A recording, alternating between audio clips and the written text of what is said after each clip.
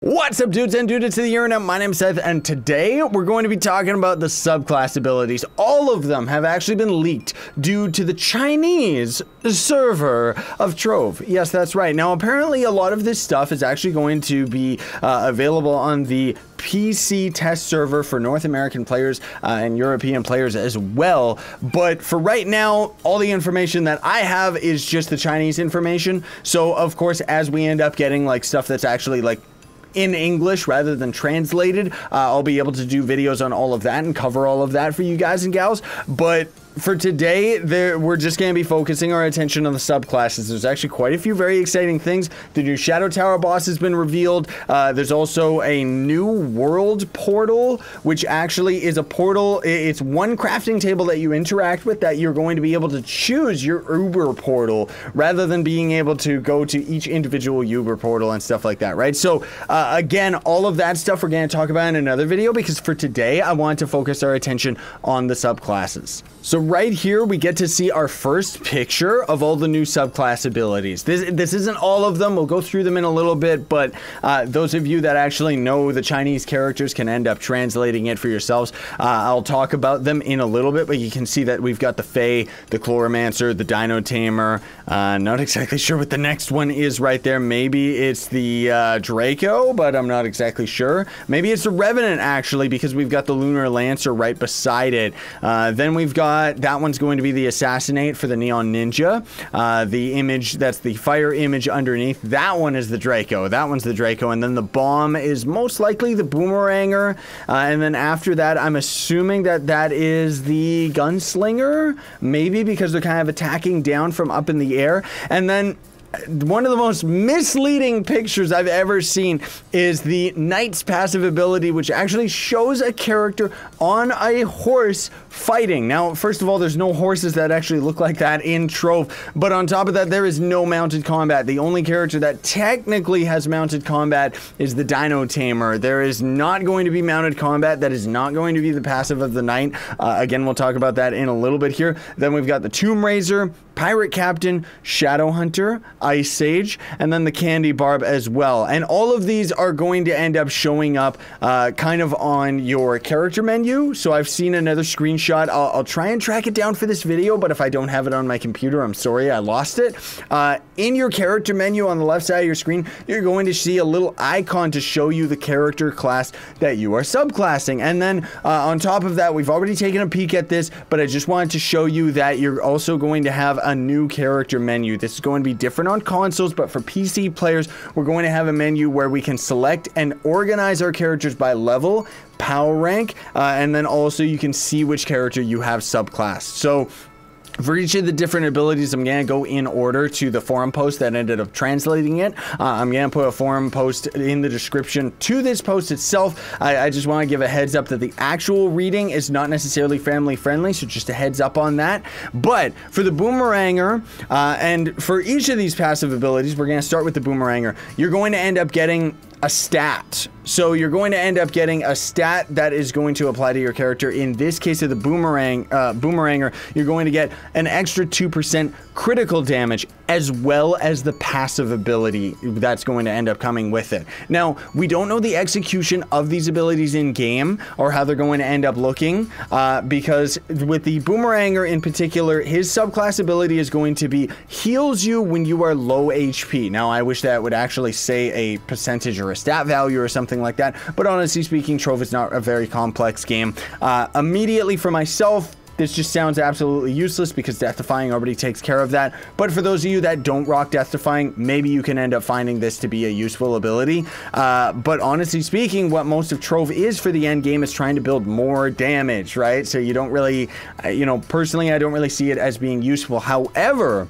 uh, the one thing that the devs did end up talking about when they mentioned the Boomeranger's ability, uh, the last time that we ended up talking about subclass abilities is they said that it was very, very cute. So the in-game application might look cooler than the actual text definition of it. So for the boomeranger ability, I'm assuming it's going to be maybe a cute little chicken that's going to end up healing you or something like that. Honestly, I don't know. We'll see what ends up happening, but hopefully it's something that actually looks exciting, even if the ability itself is very, very, like, just kind of like oh, that's it, right? So we've got the Chloromancer up next is uh, they're going to end up increasing your max HP by 1%.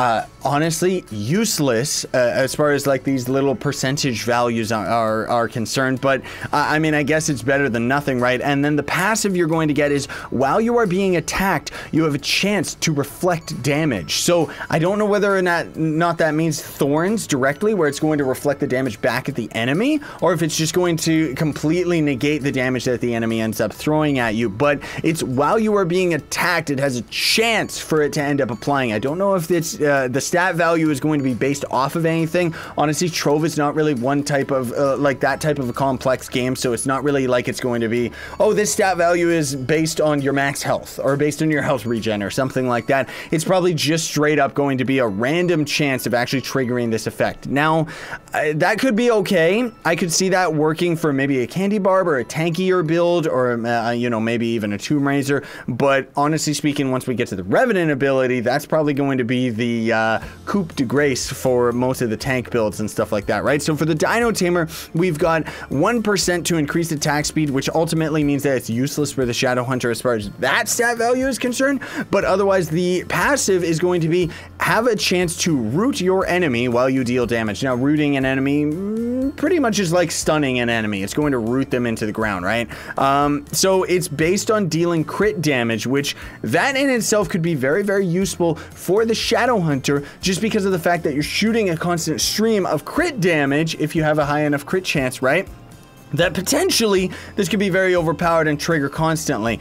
But at the same time, you could always press your number one ability with the Shadow Hunter uh, in which case most of us that actually main the Shadow Hunter barely ever do this and rarely even need to. So again, this ability is kind of in the middle of whether or not you take it just because it's better than nothing, but it's not necessarily going to be useful. So I'm really, really curious what the actual practical use of most of these abilities is going to end up being in game because this is just the text definition of them. It could end up being quite different. So for the Revenant, we already called this one, right? Uh, you're going to take minus 1 uh, of damage taken. So you're going to have reduced damage by uh, taken by 1%. But your basic attacks have a chance to taunt the enemy. Now, this in uh, lies finally letting every character in Trove potentially be a tank. Uh, now, not necessarily just because of their health values or defensive values or anything like that, but most of all just because of the fact that you can finally taunt enemies. That's something that's actually needed to be in the game for a very, very long time. And even then, I'm very skeptical about this stat because the AI in Trove is very lackluster. It's not really anything impressive. And in a lot of cases, even as the Revenant, you'll be shield bashing until the cows come home and the enemies will not actually be lured to you because the taunt effect in the game doesn't work very well. That, you know, that's just my own personal experience with that. So hopefully it'll end up working out okay. I could see it working very well with the uh, Tomb Raiser because your basic atta uh, attack is a chance to taunt an enemy, and the Tomb Raiser is another character where he's got a constant stream. Draco could potentially end up using it as well, but you'd have to build your Draco as being a little bit tanky, and then maybe you could trigger your ult to kind of save yourself because you get that extra, uh, you know, extra buff to your character. Lunar Lancers is a very weird one, so it's going to add 10 AD I guess attack damage, just raw attack damage, just 10. Um, but it's also going to have a little chance, uh, this is just a rough translation, right? But it's going to have a chance to transform your character, which will also give you uh, a little bit of your Lunar Lancer stats while you're fighting.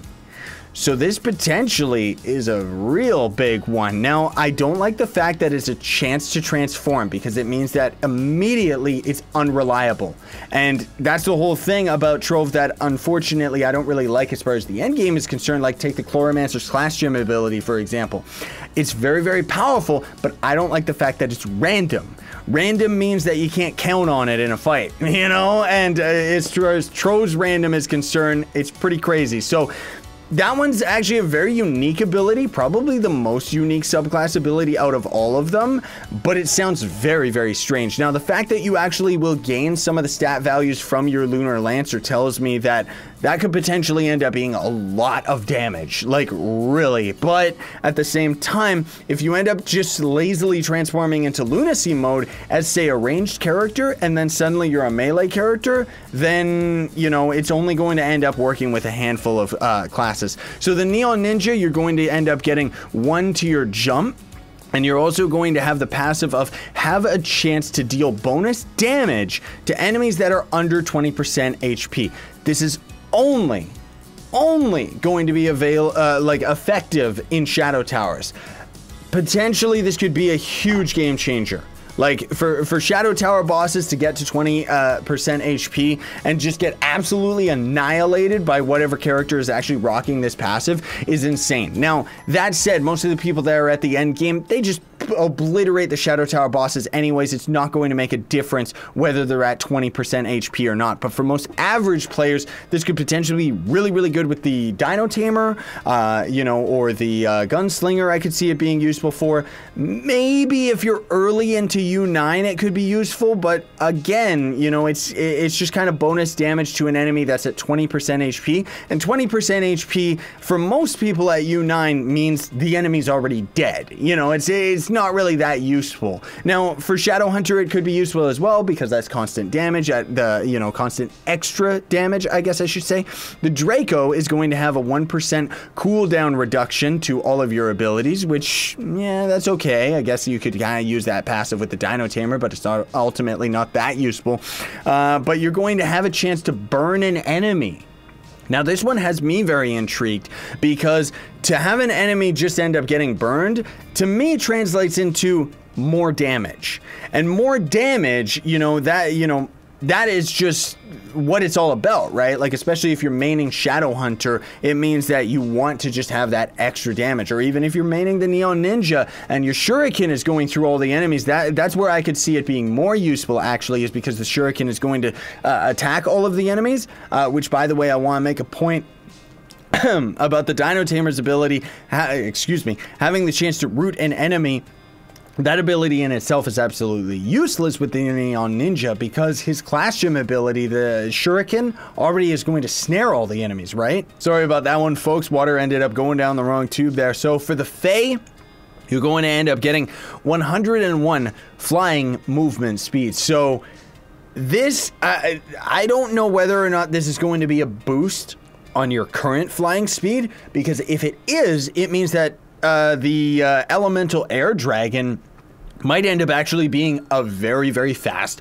flying mount, so long as it ends up augmenting on top of. Now, if it gives you the set value of 101 flying speed, then ultimately that passive is useless. Uh, but the ability that you're going to get is you have a chance to stun an enemy when you deal crit damage. Now, this one has me very interested, uh, you know, especially for the Shadow Hunter, because that means that you potentially would negate any use for your number one ability because any of the enemies that you end up tagging with your uh, you know machine gun would end up getting stunned. Uh, also, I could see this being very useful for the Dino Tamer. You would throw down your net, which already potentially ends up stopping enemies in the first place. But I would love to see if this ends up actually procking off of your Dino babies or even the Tomb Raiser. You know, for a damage build, maybe all of your little skeleton buddies, which somehow be able to actually uh, trigger a crit damage, and then they would able to take this passive and stun an enemy. It could give you a little bit more crowd control,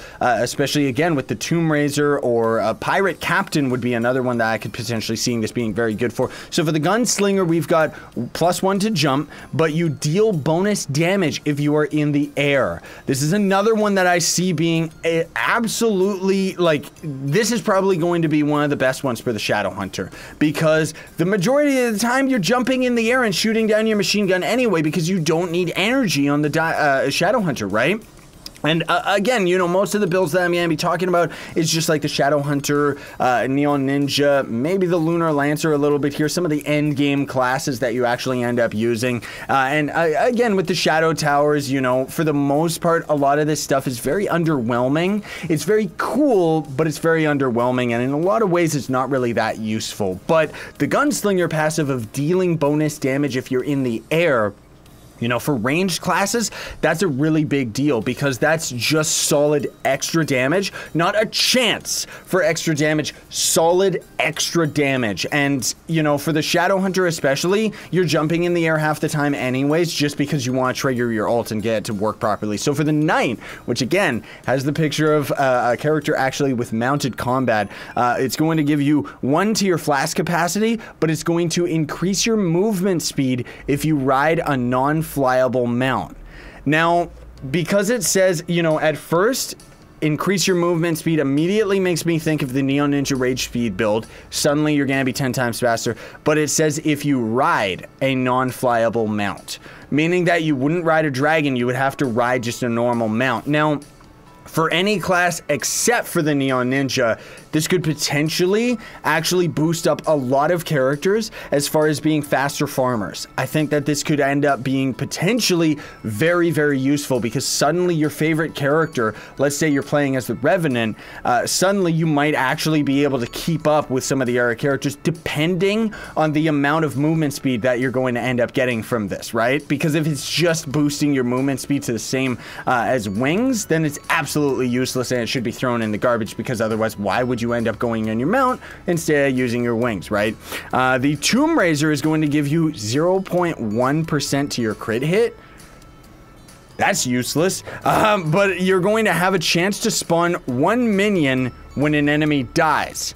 A chance to spawn one minion when an enemy dies, and it specifically says that the maximum number of minions is one.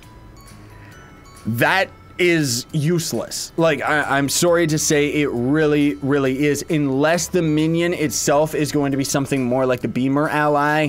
Uh, if it's just going to be the Tomb Raiser's little skeleton minions, that is the most useless ability I've ever seen because those little skeleton dudes don't do anything, you know. Uh, and unless you could have that subclassed with another ability so that the minion could end up procking something, maybe then. But having one skeletal minion is just not going to end up working. So hopefully it's not a skeletal minion. Maybe it's going to be the same as his ult. Maybe the minion itself is going to end up being very, very powerful.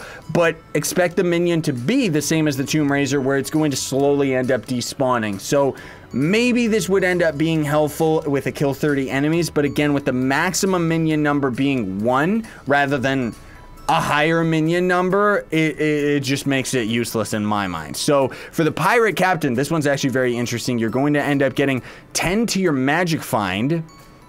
Not really that useful, but the passive ability has a chance to spawn a bullet from the sky that will deal damage when you attack an enemy. Another one that could potentially be very, very good with the Shadow Hunter, but most of all, I see this being very, very good with the Neon Ninja because the Shadow Hunter, you got to remember, uh, you know, is single target. He's got a little bit of AOE on his uh, on his machine gun, but for the most part, you can only damage the enemies that are right in front of you, right? With the Neon Ninja, he's gonna tag all of them, or even the Lunar Lancer triggering his ult. I could see this being very, very useful because that's just just extra damage right there. Uh, again, with the Neon Ninja constantly using your Shuriken and it phasing through all the enemies. Now, again, the whole thing that you do have to consider is while I'm getting excited about the idea of having a Neon Ninja Shuriken shoot through enemies and maybe potentially trigger a bullet from the sky coming down to kill everything, the Neon Ninja already one-shots everything with his shuriken anyway, so this is not really going to be that useful, if at all, for people that are actually at the end game. I, I feel that in a lot of ways, these subclass abilities are for people that are kind of just getting in uh, to the U9, if not a lot earlier, because we'll see what ends up happening but when are you going to have access to these subclass abilities? If you can use them so long as you have two classes unlocked, then these are awesome because these are really going to help out a lot of the beginning players at the beginning of the game. Even the healing uh, effect of the boomeranger ability, where it heals you when you're low HP, that's going to be fantastic for people that are at the beginning of the game and don't actually have access to death defying or some of the better flasks, right? So for the Shadow Hunter, you're going to get uh, 10 attack points, which I'm guessing is just going to be attack points towards physical or magical, depending. But maybe this was ill, uh, like improperly translated, but when you deal magic damage to enemies, it has a chance to deal extra damage. And it's going to be a damage over time effect rather than just raw straight damage. So magic damage that that confuses me because the shadow hunter is physical damage and in a lot of ways something like this i feel honestly, the devs really got to get with the times. They got to get rid of the whole magic and physical damage and just make it one raw type of damage stat.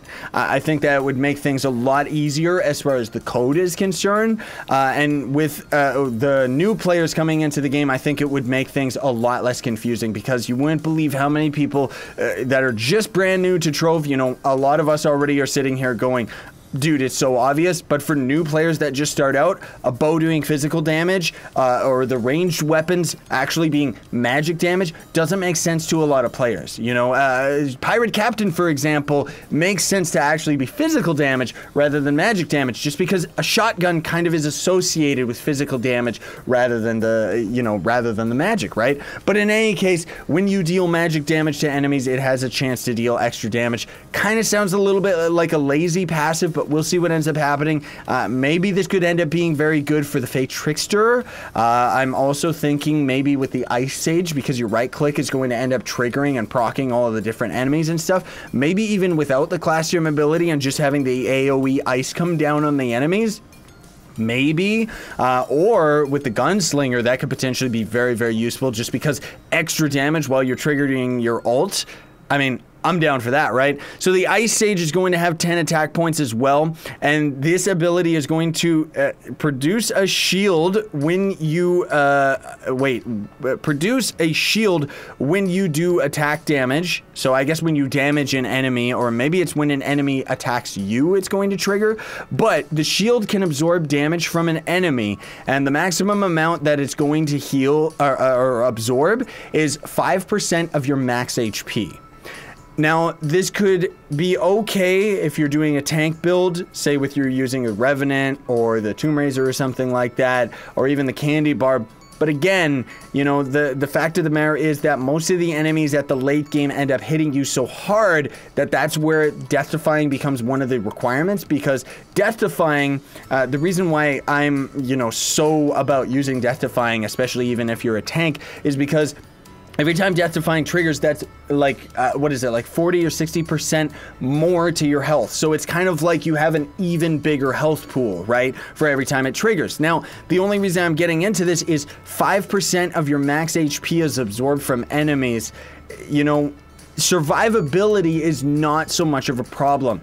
Only in Shadow Towers is survivability a big issue. And even then, I personally would have liked to see the passive of having the extra damage from the shield rather than just having the damage absorption. Because I'm guessing it's going to operate the same as the Ice Sage's shield itself, where if you end up getting hit once, the shield's going to disappear and then it's going to have to re-trigger. So again, we'll see what happens. Uh, I could see this being potentially useful for tanks, uh, especially if you're in the early parts of the game. Maybe you're playing on Tomb Raiser and you're not doing enough damage to kill the enemies before you end up surviving, but you've already got Banshee's Boon anyway. Uh, it could end up being useful for the Knight, uh, but again, the Knight is going to end up having a complete overhaul in an update after the Shadow Tower one. And, and, then last but not least, we got the Candy Barb with plus five to the stability. Uh, and the passive ability is going to I, I, we kind of called this last time we talked about the candy barb ability, but it's going to have a chance to get buffs when you deal damage to an enemy. So uh, the buff is going to either be increased movement speed, Rage speed build. Here we go. Uh, attack damage, uh, or not attack damage, attack speed. Again, being very helpful for the Neon Ninja. Or it's going to drop candy for healing. So that is probably the only passive subclass ability from any of the classes that straight up is the sub, uh, uh not the sub, the passive ability of the Candy Barbarian, because his passive ability is going to end up triggering the candy that ends up either giving you uh, movement speed, attack speed, or just drop candy for healing. Except his candy, I don't think actually has a movement speed. Maybe it's just attack speed uh, or the healing. But in any case, that in itself is that going to end up being applied to just your one specific character or is it going to be applied to everybody around? And in a lot of cases with the subclass abilities, are they going to end up actually being a group ability that's going to end up helping everybody? Now, that said, the fact of the matter is that all of these abilities, even if only working with one specific character rather than moving with all your friends and stuff like that, potentially can end up being very, very overpowered and synergized very well with other characters that might end up taking a couple different different builds.